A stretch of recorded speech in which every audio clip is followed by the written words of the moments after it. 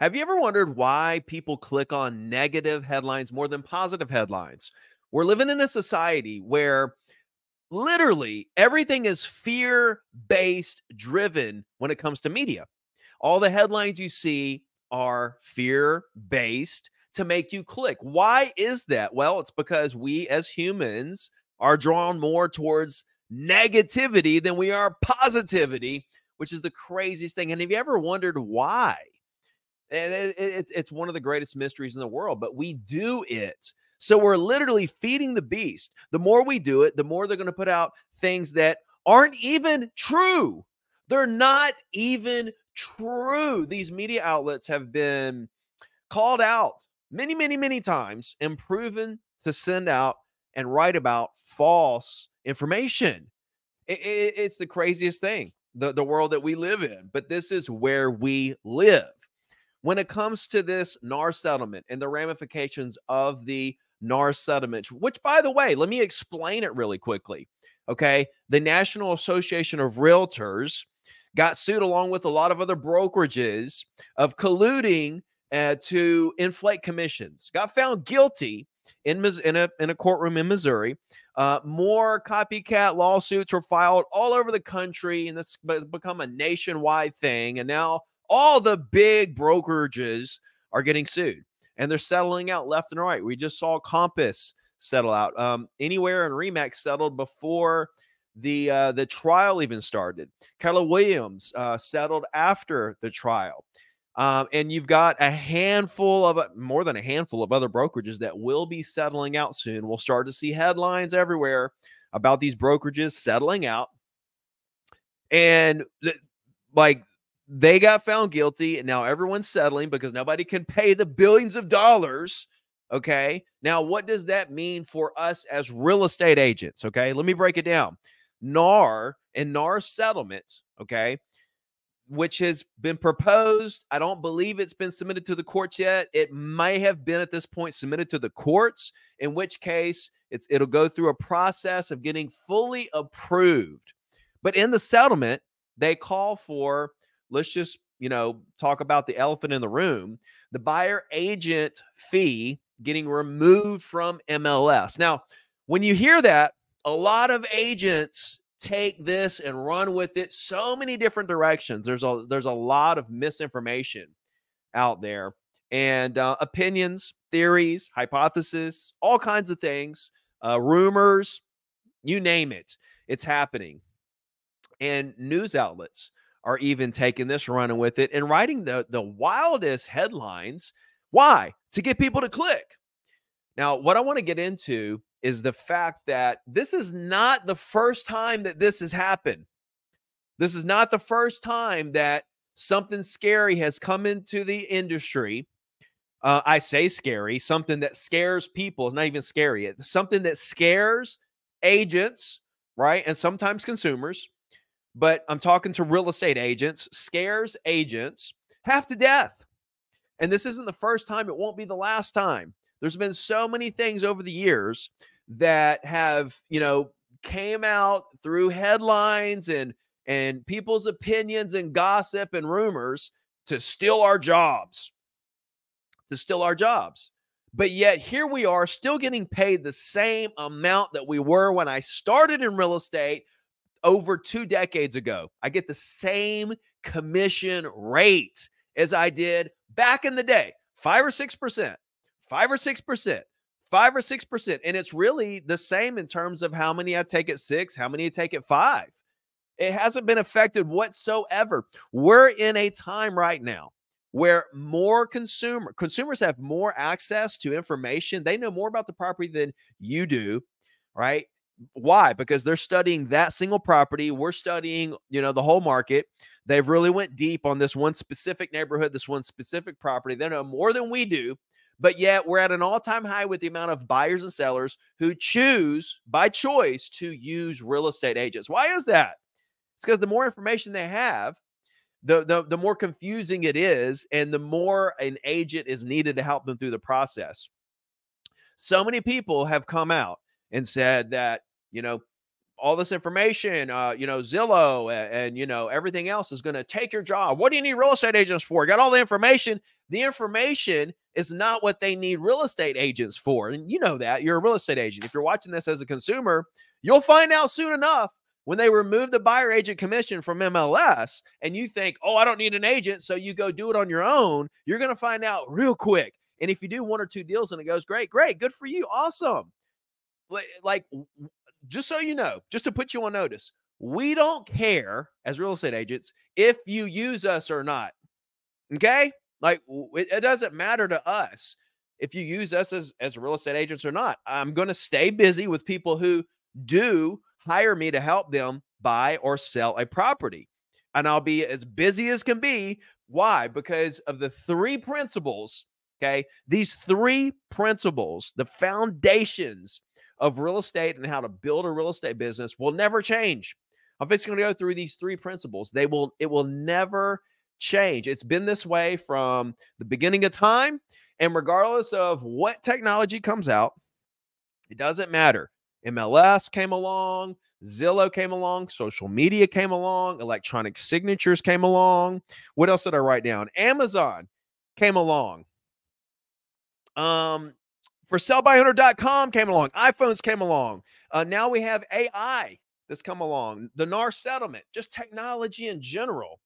Sure, does the how to's change? Absolutely. It's changed dramatically, right? But the fundamentals and principles of the business have not changed and they never will change. And these three mind blowing business building principles for real estate agents are what I discovered going from roofing houses with my father for less than $10 an hour to becoming a real estate agent, making over a million dollars a year as a single agent in Alabama.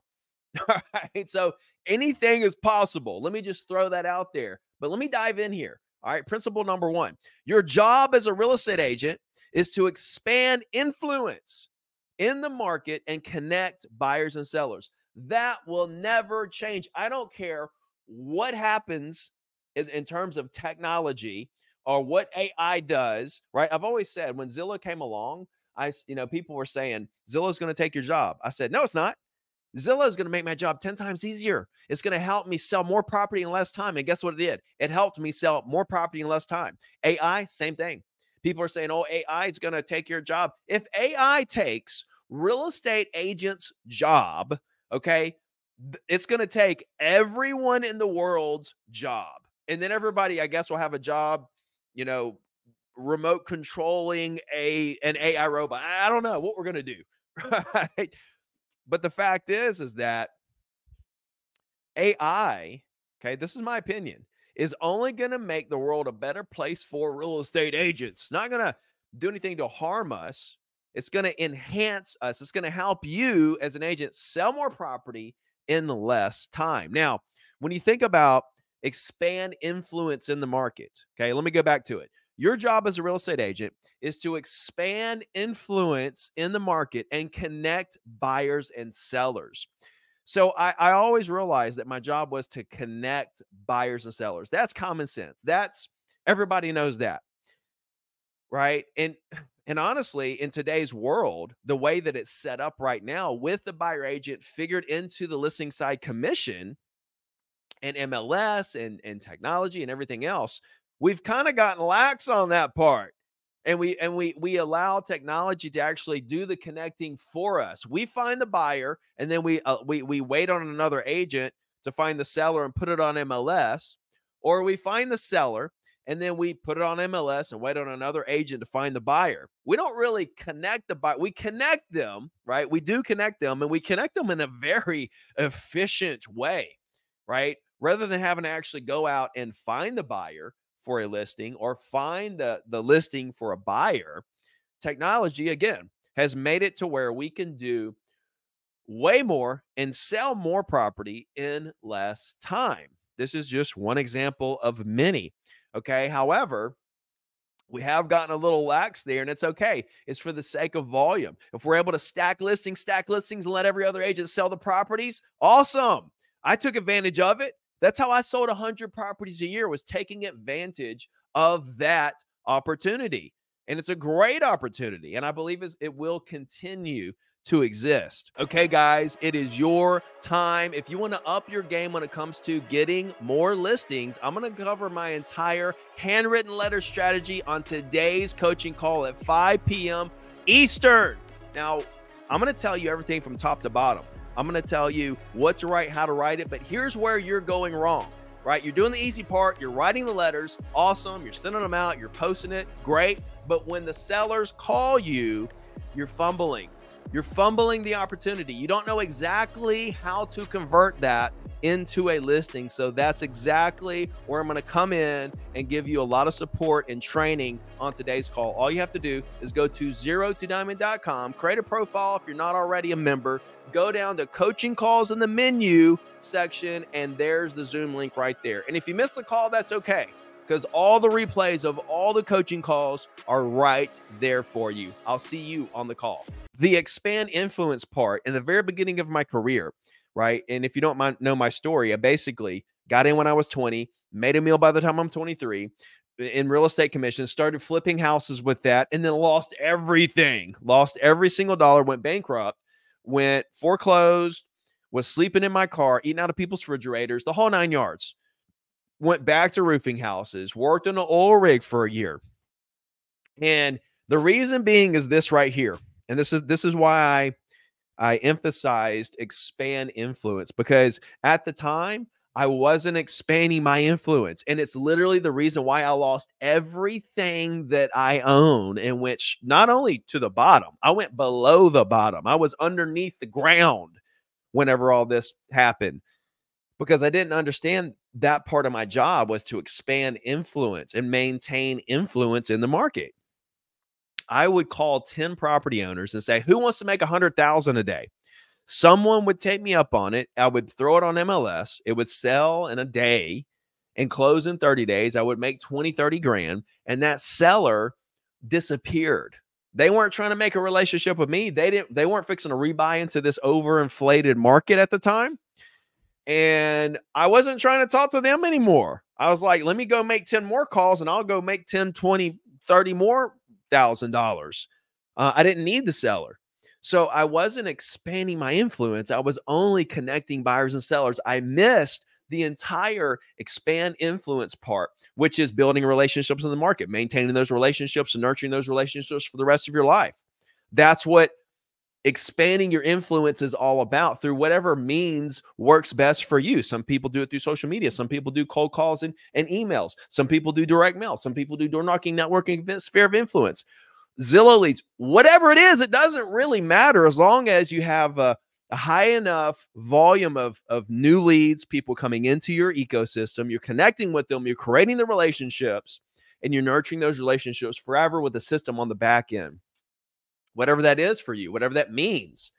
But at the end of the day, our job is to expand influence in the market, connect buyers and sellers. That's never going to change. The way we do it may change. The way we get paid may change. The disclosures we have our clients sign may change. But the fact that this is our job will remain that way forever. All right, let's get into the second one. Regardless of any headwinds in the market or artificial fear driven by the possibilities of what might happen, People will forever buy and sell homes every single day by the myriads. Now, what is myriads?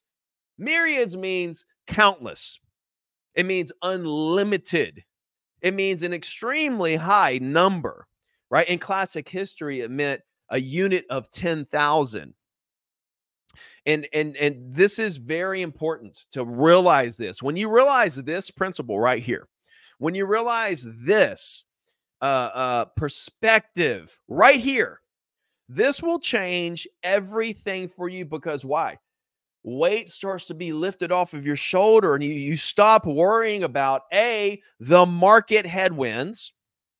Anything that might happen in the market, you don't worry about it anymore because you realize closings are going to happen unlimited every single day forever so it's like, what, what we got to worry about the market? So you stop worrying about that when you when you really realize this, you stop worrying about the market and you stop playing into the artificial fear driven by the possibilities of what might happen in terms of, you know, uh, NAR, you know, this NAR settlement's going to completely wipe buyer agents uh, out of the game. No, it's not. No, it is not. It's absolutely not. I mean, th- that's what they said about Zillow. That's what they said about forsalebyowner.com. That's what they've said about AI for years and years and years. They're going to keep saying it. And the people that say it, right? You've got the news media that says it. And then you got the just regular common people that say it. They don't know what they're talking about. And they're saying it. And when you hear enough people say it, that's just in the general public, you know, you see the news people, media say it, then you hear the general public say it, and then you start to believe it.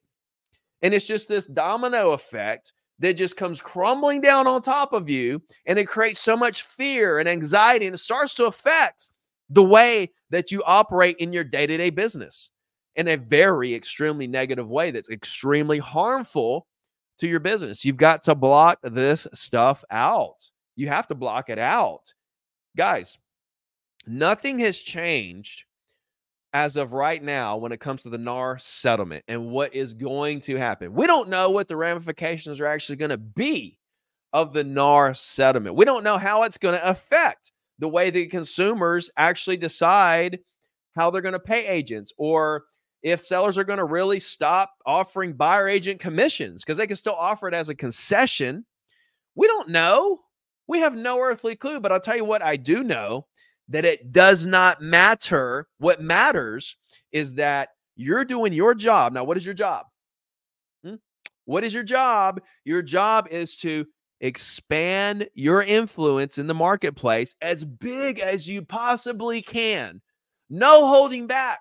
No holding back. No matter what the market's doing, no matter what anybody says, no holding back. You've got to get that influence so big, which means the number of people in your database that know who you are, what you do, and you're here to help. You're to the moon. No, who cares about anything else? To the moon. Building your database, building your influence, having those one on one conversations. The only thing between you and a million dollars a year are thousands of one on one conversations with people in your market. That is it. That is it. Now, you could spread those conversations out over the course of 20 years, or you can have them all within three to five years and go ahead and knock this thing out and get to that million dollars. I promise you, if you listen to what I'm saying and you'll take action, you'll have a better life forever. Now, the headwinds in the marketplace or artificial fear driven by the possibilities of what might happen, right? People talk about, you know, um, you know, when when you know Amazon when they partnered with Realogy at the time, it's now anywhere people thought that that was literally going to be the end of real estate agents. All they did was offer a, a home like a Alexa, basically, uh, like an Alexa or whatever, you know, with, with their closing. I mean, that's all they did. It literally affected nothing. You should be focused on expanding your influence to the moon and connecting buyers and sellers. That's not going to change. If, in fact, a rule comes into place where we have to disclose things differently. Maybe we have to start getting paid by the buyers in some situations. Who cares? Why do you care about what might happen? 95% of the things that you worry about never happen. And the 5% that does, you can deal with it when it happens. So therefore, you worry about 100% of nothing and you stay laser focused on the job, the task at hand, which is expanding influence in the market, connecting buyers and sellers from now till the rest of your career until you retire. Why don't you build that business as big as it can go? Why are we even putting two thoughts into what might happen? I don't care about what might happen. I'm talking about what's happening, what's happening right now. And what's happening right now is the largest opportunity that, that I've ever seen in the real estate industry.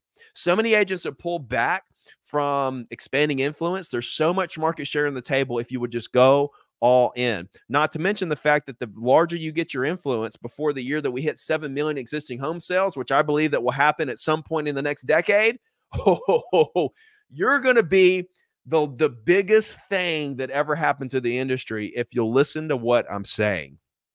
I've been there done that. I understand. Now, I remember the moment that I realized this this principle and I'm going to read it again. Regardless of any headwinds in the market or artificial fear driven by the possibilities of what might happen, people will forever buy and sell houses every single day by the myriads, by the myriads.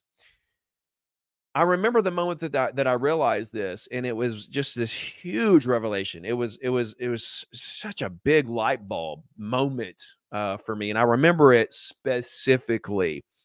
I was working on an oil rig in Mississippi, and it was after I got off work. I was living in a mobile home, like they had mobile homes on site of the oil rig. And it was the funniest thing because it was a mobile home and and and, and there was two rooms, one on each side. And then there were in, the middle room, there was there was two refrigerators and stuff like that. So the night crew that worked from six to six lived and slept and ate on one side and then the, the, the day crew lived and worked and slept uh, and ate on not work lived eat and slept on the other side.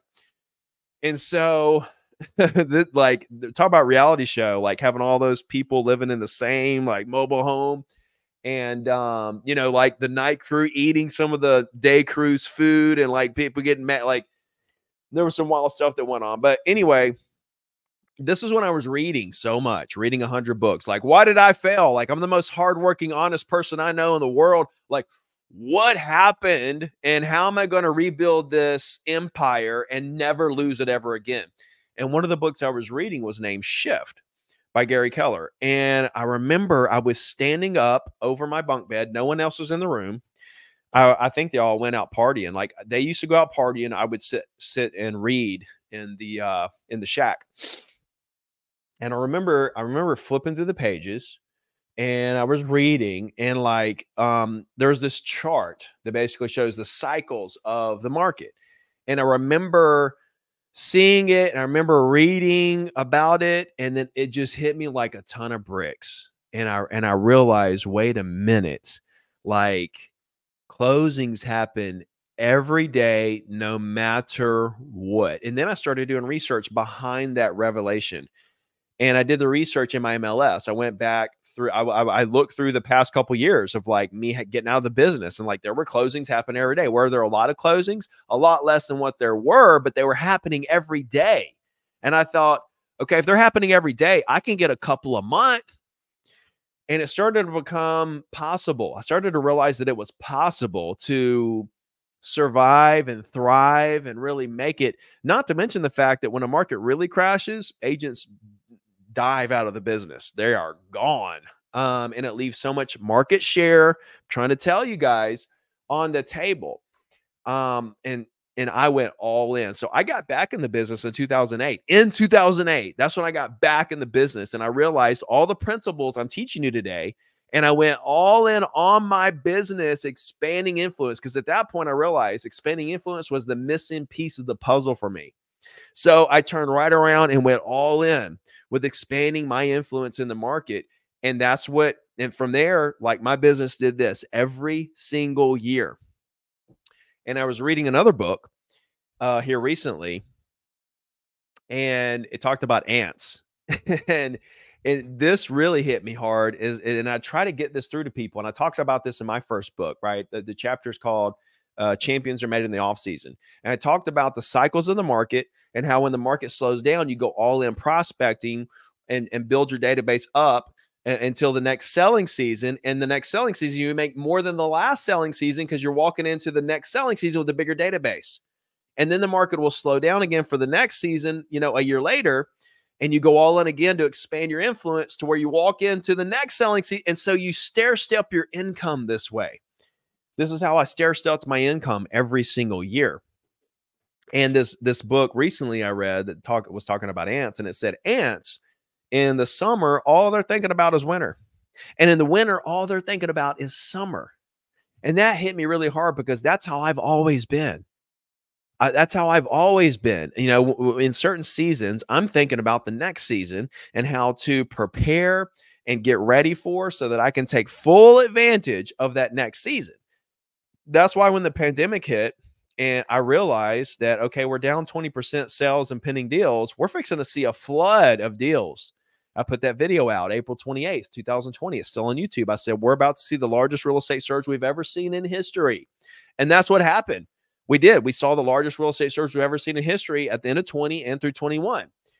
Um, I realized that because you know, like when when things are down, I'm like, oh, this is opportunity. And that's exactly how I see it right now. Ever since March 2022, when interest rates started coming up, I knew that we were heading to a different place in the market and a place where there was going to be massive opportunity. And the more all in you go right now, the bigger your career is going to be. I'm not talking about 2024. You're going to have a great 2024. You're going to have a great 2025. Awesome. I want to see you making tens and millions, hundreds of millions of dollars over the course of your life. That's what's most interesting to me. Helping you get to that quality of life where you can look back and be like, you know what? I can do anything I want to do whenever I want to do it. I'm not tied to anything. All right. But that was the moment that I realized I was on the oil rig. I was reading the shift and it hit me and I started doing my research and I started realizing, wait a minute, something's going on here. So um, let me let me dive into the next uh, principle here. Contrary to common belief, all right, competition does not exist. I'm sorry, I, ha- I hate to tell you guys, I hate I hate to tell you this one. Competition does not exist, and no agent, no agent can steal any of your clients. Now, of course, I can't steal any of your clients. That's your client. That is your clients. Now, people get this confused. They go on a listing appointment and the seller is interviewing three agents and they don't get the listing and they say, oh, you know, they, you know, they got me. No, no, they didn't. That was never your client.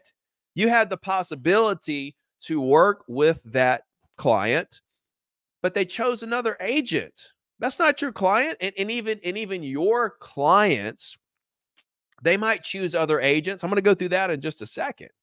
But what you need to realize is that you deals take time from the moment you get the lead okay whatever your sales processes is once you get the lead what happens then you talk some you or somebody in your team talks to the prospect figure out what they want to do you go to the next step next step next step next step okay there's a sales process now, sometimes, most of the time when you get a lead, they're not ready right then. Or if you talk to somebody, you know, like let's just say like everybody in your database aren't ready right now. Let's say you build a database up to 5,000 people. You know, 4,000, you know, 4,950 of them ain't ready to do anything. And the other 50, they're kind of thinking about it. Maybe have, you know, whatever, 10, 20 that are ready to do something right now. Most of the people in your database aren't ready to do anything right now.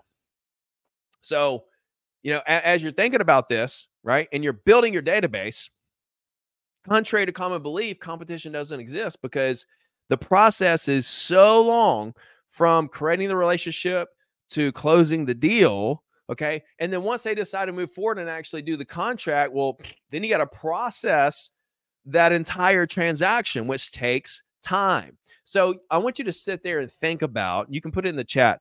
You think about how many deals could you actually handle right now? Could you handle a hundred listings right now? Could you handle a hundred pending deals? Could you handle 200 pending deals?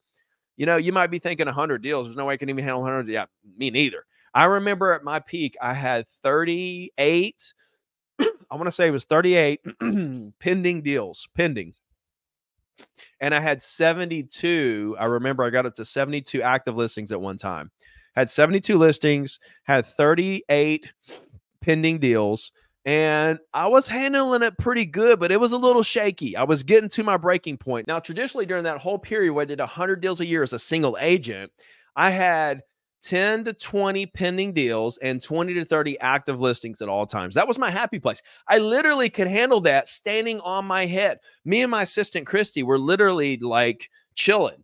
Like it, it wasn't, it was nothing to it. Well, why was that? Well, I wasn't prospecting anymore. Number one, a lot of people think the prospecting, the lead gen. No, when you build your business the right way, the way that I teach you, then you don't, you, you get to a point where you're not prospecting anymore. You have so much business coming in from the sources that I teach you to build. You don't have to prospect anymore. So now you're just servicing. It's just repeats, referrals, referrals of referrals. You don't have to worry about any of that. So at that point, when I was doing 100 deals a year, I was literally just servicing. I was just following up with people that were calling in. I would go show a property here, go to listing appointment there, go to a closing here. It, it was cake. It was easy. And and when people call you at that point in your career, when they're when they're coming when they're chasing you, you're not chasing them. They're chasing you. Why? Because you built a personal brand. When they're chasing you, they ain't interviewing three agents and they're going to pay you anything you want. So you got to worry about that. If you're worried about the NAR law, uh, lawsuit settlement, build build a personal brand. You don't have a problem getting clients or getting them to pay anything that you want them to pay you. Side note, regardless, the process of the deal, and I want you to think about how many deals can you handle, right? You can't handle but so much, X amount. Some people have four pending deal, like four listings and two pending deals, and their week is shot. And I'll never understand it, but I'm empathetic towards it because I know it takes people of all kinds that have different, you know, capacities of what they can handle. I get it. Um, but nevertheless, you can only handle so much. And there's closings happening every single day, not to mention every single month in myriads, myriads. But the thing is, is that because the fact that it's a process, it creates a situation where business is unlimited for everyone. You can't get to every single property owner. Now, think about this for you to do every deal, which you can't handle, you would have to talk to every single property owner in your market and a buyer and seller, right? Not just sellers, buyers in your market simultaneously every hour, let's say, right? People change their minds every five minutes, right? Let's say they change their mind every hour. All right, you'd have to talk to, have a conversation with, a consultation with every single buyer and seller simultaneously every hour to to in order to pick up to to, to even to get to get to start the deals. Then you got to process them. Never happened. Never happened in a million years. All right. I could go on and on and on here in terms of like when I talk to a prospect, I'm thinking about how many deals that they're going to do over the course of my career. If I want to do business for 20 years, how many deals are they going to do over the course of 20 years? How many times they're going to move? That's two deals every time they move, plus how many people are they're going to refer out over that 20 year period. That's what I'm thinking about. I'm trying to stack as many deals as I can into a 20 year career here. I want to do a couple thousand deals over the course of 20 years. I could go on and on and on with that. But what I want to get into here is your database because I'm saying contrary to common belief competition doesn't does not exist and no agent can steal any of your clients. So just to put a little ease to this um, i wanted to, i wanted to share this with you. Here's your database. All right here's your database. The smallest uh, amount of people right the smallest group in your database are the clients that are loyal for life. These people are never, ever going to use another agent for as long as they live. They will never refer a different agent other than you for as long as they live. They are ride or die for you. Okay. This is the smallest group in your database, but they do exist. And you know, you know, you know who they are. They're loyal till the end. They will never use another agent. Okay. That's the smallest group. The next biggest group are people that might use you today. They might use another agent tomorrow. This is the next size, okay, group in your database. And this group, you know, they love you, but if another agent brings them a deal, they're going to use that agent. They ain't going to call you. All right. Um, or somebody, an agent could call them out of the blue and say the right things, and bam, they're going to use them they're I don't want to say wishy-washy. I don't want to say wishy-washy because that's not really the right word for it. But but you know where I'm going with it here. And what you have to understand is when clients go and use a different agent, that's okay. Put them in this category, right? That they're in that middle tier of people that might use you today, might use another agent tomorrow. Don't get mad at them. Congratulate them, right? Say, you know, congratulations you know tell me about it. Don't don't act hurt over the situation. Don't act like you have resentment and and and don't even not act like it. Don't have resentment. Because here's the thing if you actually cared about them and you were there for their best interest wouldn't you be happy if they did something that they thought was best for them? I mean that's why we're there anyway as agents to consult them and to help these people through some of the biggest decisions of their life, hoping that what happens is that they end up with what's best for them. So if they choose to go a different route other than use your services, obviously they thought that that's what was best for them. So shouldn't we be happy for them versus being upset with them? The answer is yes. You should be happy for them. You should be congratulating them. Nevertheless, they might use you today, they might use another agent tomorrow, and then they might use you the next day. So you don't want to burn that bridge by acting salty. You know, you don't want you don't want to just cut that, you know, burn that bridge. You know how many people came back to me? I had people go use discount brokers, other agents, ghosted me. I never burnt the bridges. I told them great. And guess what? A lot of them came back to me and used me multiple times after the fact. Um, and if I would have been cold, salty, you know, resentful, they would have never came back to me. And and I wasn't doing it to get the later business either. I was doing it because I cared about them. It wasn't about the money. It's not about the money. It's got to never be about the money. We're, we're gonna do. We're gonna. We're in business. We're gonna do our best to provide the best service, and we're gonna get paid what we're worth. Right? We're gonna get paid what we're worth. We we do a great job, and we charge a fee, and we get paid. But at the end of the day, if somebody doesn't use our services, that's fine with me. Why? Because we've got our loyal for life clients. And, and, and the problem is, is that we haven't built our database up to the size where we have a plentiful amount of loyal for life clients. We're crying because we thought this person was loyal for life and ended up being in the third in the in the middle tier. Might use me, me today, might use another agent tomorrow. But you know, and now our business, we feel like our business is affected. We feel like we should be, you know, making more money because we built this database and all this stuff. No, you probably quit building the database. That's why I say you've got to expand your influence to the moon. You can't just stop and think, oh, I got a database, so I'm good. No, no, you're not. Why not get as much as you can to help the most people in the market? You know and remember like this is the smallest group and you want eh, the bigger your database is the bigger that group's going to be but it's always going to be the smallest group. That's why you got to build a massive database. And let's look at the third group which is the largest group. This is the largest group here. Will never use your services. Right? The largest group in your database that are getting your weekly emails and seeing you on social and and you know talk to you on the phone and they're all nice to you and everything will never use your services. Why not? Why won't they ever use your services? I'll tell you why. Because they either don't like you.